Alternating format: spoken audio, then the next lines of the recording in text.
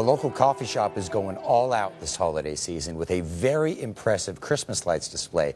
Catherine Formby is the co-owner of Mozart's Coffee Roasters up on Lake Austin Boulevard. She's behind this big display. Hey, Catherine, I was watching it on YouTube. I admit I haven't seen it in real life. Loriana said she saw it. She said it was great. Tell us about this thing. How'd you get this thing going? Well, we at Mozart's do Christmas lights big um, every year. And for the, this is the first year that we've decided to do music and lights synchronized. So we started um, really in, um, at the end of September, and um, it took five people four, full, four weeks uh, full time to build everything.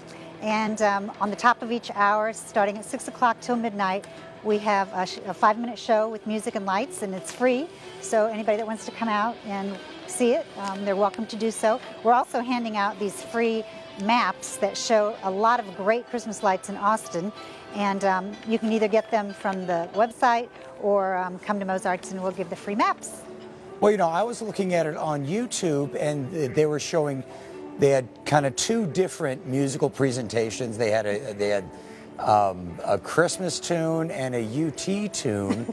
How many different songs do you guys have with the light shows?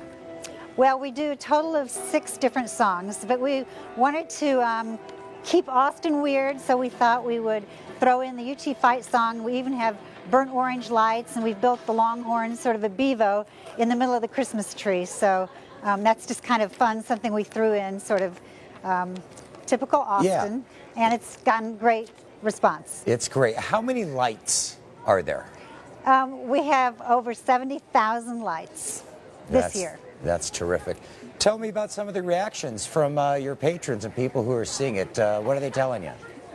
Um, well, of course, the kids love it. And um, they're just, their eyes are really big and the music is really loud, so it's just a real joyous feeling. And I think what's really fun is that um, it's not just the light show that we have, but Mozart's has lights all around the deck. We're kind of calling it the deck of lights. So people are sitting around the lights and under the lights. So it's a very magical feeling. Um, people have really responded well, and some people are coming back over and over to see the shows. Yeah, it's great. Fun. I think, you know, there's no trail of lights, and I, this might be supplanting it because it, it, really looks good. So, listen, Catherine, we really appreciate you taking the time for us. And I think a lot of us thank you for this kind of a display. It, it really adds to the season. Appreciate it. Well, we're happy to do it. You bet. And I will add, you have to go by and see it. You just want to kind of stand up and just applaud because it's such a great event. You feel like you're at a big party. So go by one night.